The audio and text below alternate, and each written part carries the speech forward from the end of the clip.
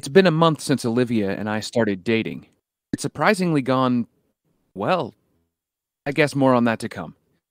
I've met Olivia's two kids. Madison, who's six, is Penny's age. So we arranged a play date for them, and they got along like a house on fire. Penny wants to go to the same school as Madison. We're just trying to arrange that at the moment.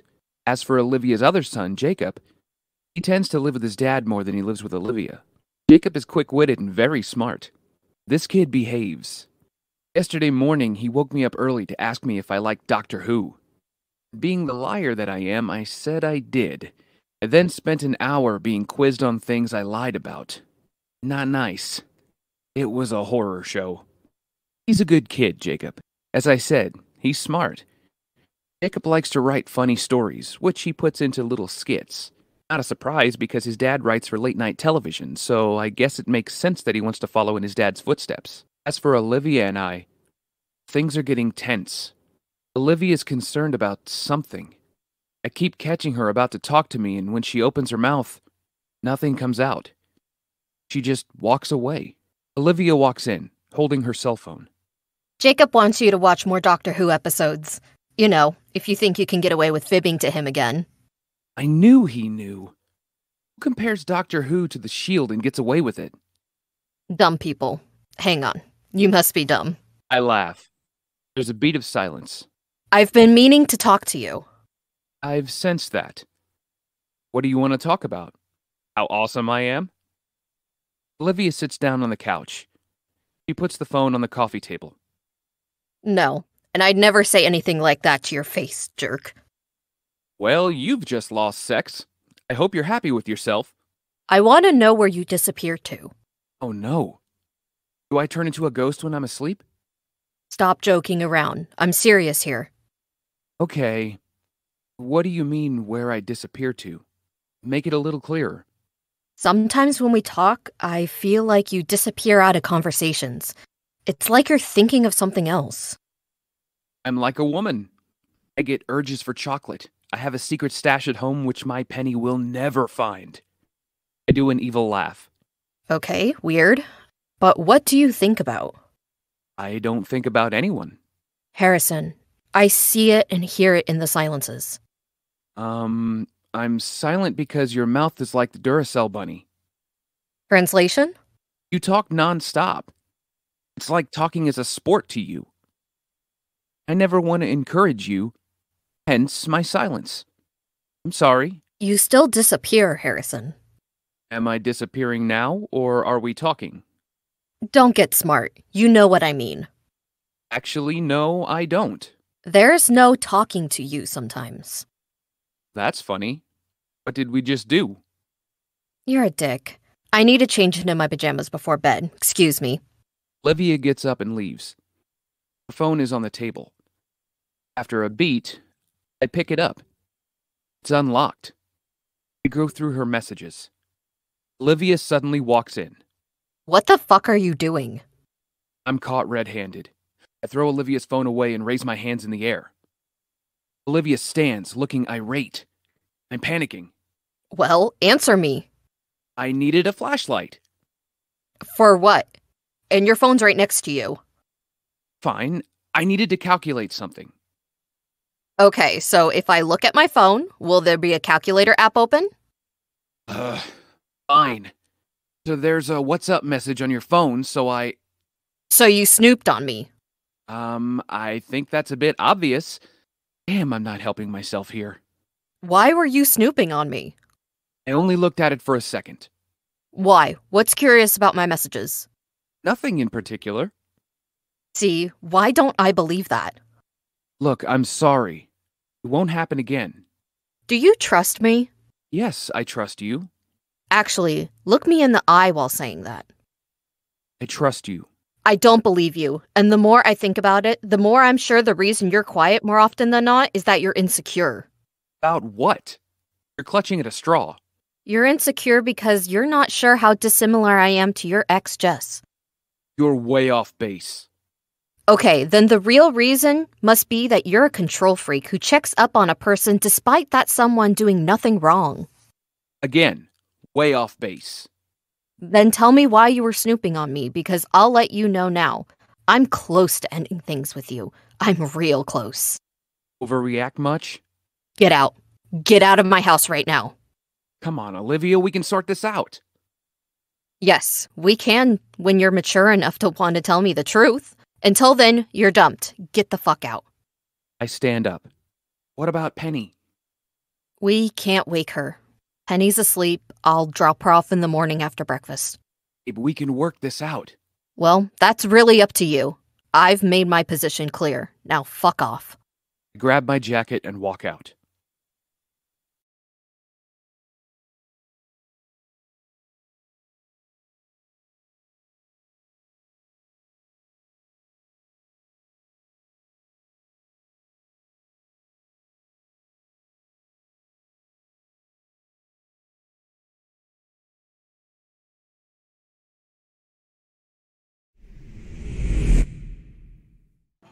I'm in the cafe across from the library where Olivia works. Olivia's meeting me here to hand over Penny. Gwen, the bored teenager who works in the library, walks over. You've got a lot of explaining to do, mister. It better be good. I like your hair. I don't think it's too pink. Whoever told you I said that is lying to your face. Block them. We're not talking about my hair. And even if we were, this chick is hot. And you're a blind mole, so zip it up and shut it. What are you talking about, Gwen? I'm talking about Olivia. She's been in a bad mood all day at work. She keeps telling me what to do. She's your boss. You're her employee. I'm not following why you're concerned. I'm concerned because usually I'm just ignored by her and she allows me to do anything I want, but. But she's acting like Putin? Yeah, she's not leaving me alone. And I know it has a thing to do with you. And why me? You're her boyfriend, and men are always at fault for everything. What did you do? I looked through her phone while Olivia changed her clothes and she caught me. Why did you do it? It was just there. There wasn't any malice intended. Do you trust her? Yes. That didn't convince me. Let me try again. Do you trust your girlfriend? Yes. Trust Olivia. More than your ex, Jess? We're not discussing this further. I'm not convinced you trust Olivia, but I think I know how to fix this. How? And what's in it for you? Peaceful life. Anyway, you're not gonna like my plan. I don't care. I just need to fix this. Put Olivia in a situation where you might not trust her and. And when I suggest it and she does it, it comes across like I trusted her all along, and then she's the fool, not me. Um, firstly, women are more clever than men. Secondly, that's why I came up with the brilliant plan, and you didn't. I agree with you. Will Olivia take me back if the plan works? Gwen nods her head. It's genius. Thank you. I have an idea. Go to a male strip club. I'll pay. Are you sure about that? Men in those clubs tend to be pretty hot. Yeah, I'm sure. I trust her. Okay, if you're sure. But you need to know how to trust her because faking it won't work for long. It's plaster. You need stitches, not plasters. Good luck. Gwen stands up and exits.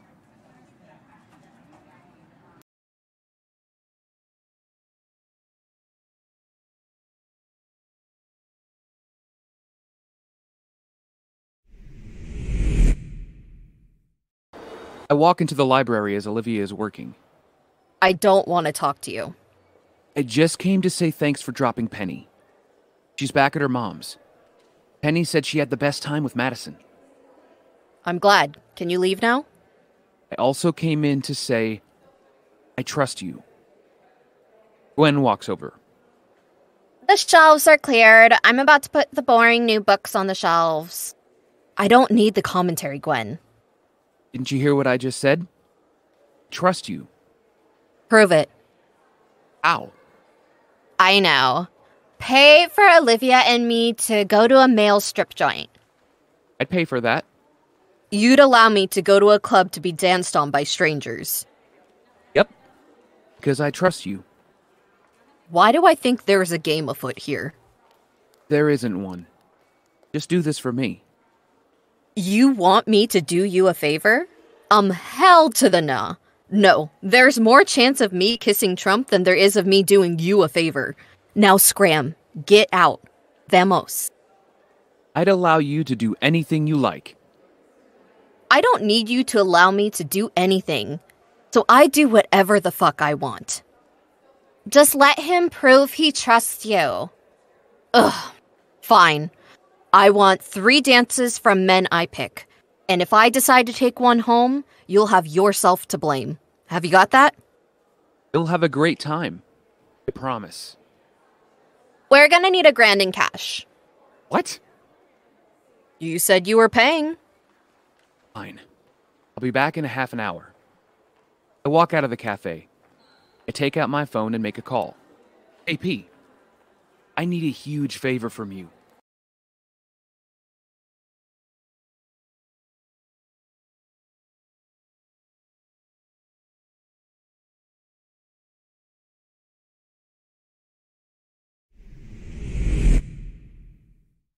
Olivia and Gwen are sat down in the strip joint.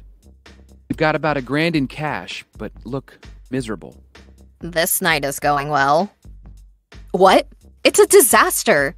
It's a strip joint, and none of the men here is willing to dance for us to get naked. To be fair to the guy before, he did strip his shirt off. I don't care about the shirt.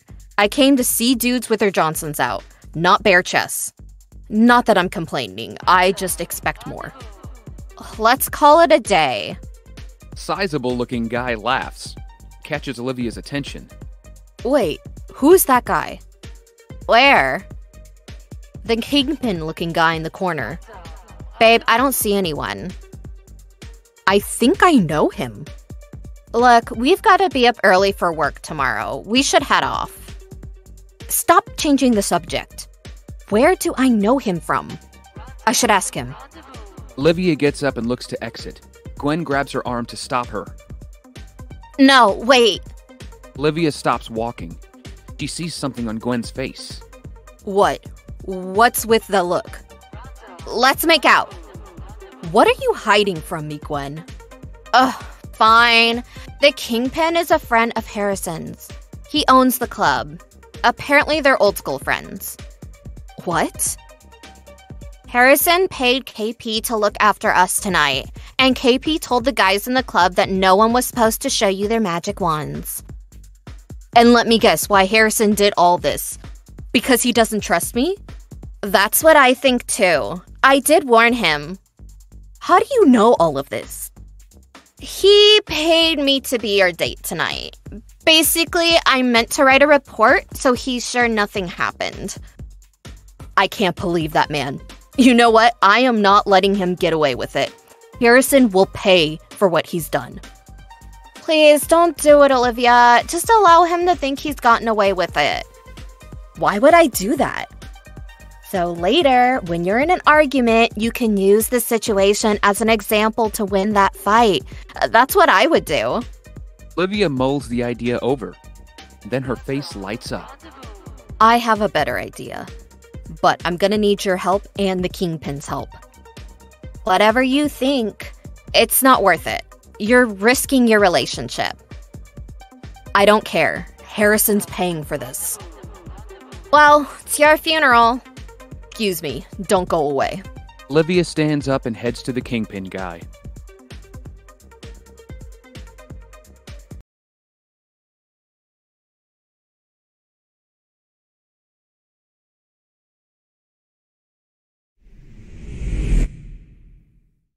I'm sitting on the couch reading a book.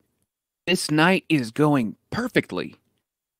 When I suggested the strip joint as an activity to get Olivia to trust me, I didn't for the life of me think it was going to go so well. I thought it would fail. But I guess KP and Gwen are doing a great job on this mission. The last text I got from Gwen said that it was going swimmingly. And that's why I think I'm the king of the world. Seriously, I need to be feted by the UN or something. I'm great. There's no doubt about it. I am. I thought Olivia would figure it out by now. At least I thought Gwen would have crumbled too, but sadly for them, it hasn't transpired. I'm the king of the world, baby. Damn, I'm cocky today. Anyway, my point is, Olivia is none the wiser to our plan. I'm on my way to winning a Boyfriend of the Year award. I've also got to say, KP, my college friend is a good guy for helping me put this plan together. He's a true G. Yep, I never said that before. Kinda want to say it more now that I think about it. I'm a true G. Yeah, that's starting to sound lame. I just have to wait until tomorrow when I'll walk into Olivia's library with the knowledge that Olivia knows I trusted her. That's a master plan if there ever was one. I get three WhatsApp messages with pictures on my phone. One shows a man kissing Olivia's neck. What the fuck? Another shows Olivia touching a, a man's mm. G string. Okay, she's so dumped. The last one shows Olivia leaving with said man. The message from Gwen reads I tried to stop her, man. I'm sorry. I sit there devastated. I'm heartbroken. I can't believe what I've just seen. First, Olivia wanted me to trust her, and then she went on to cheat on me. What kind of person does that? You know what? She's just like Jess. They're two people with the same blood. I wouldn't even be surprised if they were related. Damn! I loved Olivia. Ah, uh, if I'd have just told her the truth about why I didn't trust her, maybe. Maybe what? It's over. Move on with your life. Doorbell rings. It must be Gwen. I said I'd pay for her helping me tonight. I answer the door, and standing is not Gwen, but Olivia. What the fuck? Olivia walks into my studio apartment. Get out. I don't want to talk to you. And why is that? Don't play dumb with me. Am I dumb? You got Gwen to take me to a strip joint which your pal owned? Damn it, KP. You then paid that pal money so he makes sure that I had a terrible night. And you did all that under the ruse of hiding the fact that you don't trust me. That's right. I don't. Do you want to know why that is? I'd like to hear, please. I pick up my phone and show Olivia the WhatsApp pictures. They're fake photos. I wanted to get my revenge on you for setting me up. So you didn't cheat? No, I was faithful to you. Look, we're still done. I can't be with you. I'm not Jess. Know that. So why is it so hard to trust me? It's hard because there's still a chance you could turn out to be like Jess. I'm upfront with you. You know all my secrets. I never lie. You know that. So what more do you want from me? Nothing. I just want you to be Jess. What? No, I didn't mean that. I think you did. I didn't. Let me just. The reason why you don't trust me is that you see me as Jess. There's a side of Jess you loved, and there's a wrong version of her you hated. I don't think about her. I promise. So we put both sides of Jess together with me and. And what? And you can't work out who's who? The line is blurry. You see me like your ex. That's a wrong conclusion. I wouldn't compare you two. It wouldn't be fair. Fair or not, the result is you can't trust me. And if there's no trust. Don't say it. Please. There's no us. We can't be together. So this relationship is on course to end up like Hiroshima. It's doomed to fail. I'm quiet. Olivia walks up to me. She grabs my face. She kisses me on the cheek. I'll always like you. I'll always root for you. I'll always think of you. This doesn't have to be the tracks we travel down. You have the power to change it. So please, spend some time searching for your true feelings. And if your true feelings are connected to me and not Jess, we can restart this again. Goodbye, Harrison. I wish for you to find your way back to me again. All the best. Olivia kisses me one final time. Then she grabs her handbag and exits, looking teary. After a beat, pick up my glass of wine, and throw it against the wall.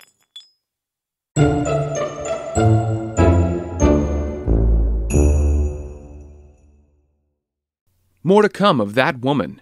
Follow the Love Podcast on your favorite podcast app to get future episodes as soon as they drop. And if you love the podcast, please share it with family and friends. Thank you for listening.